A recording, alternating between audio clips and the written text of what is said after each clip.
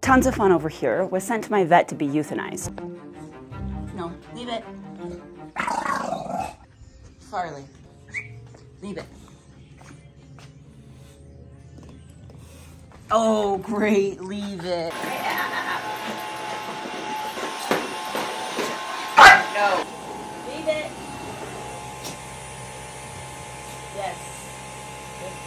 This dog has been doing what he wants whenever he wants for the majority of his life. So that means for someone like me that doesn't have any relationship with this dog, I've only worked with him a couple times, for me to come in and tell him no or crank on a leash, especially when he's in the heat of doing something that he wants to do, if I try to tell him no, he's gonna do exactly what you just saw, which is tell me to go fuck myself.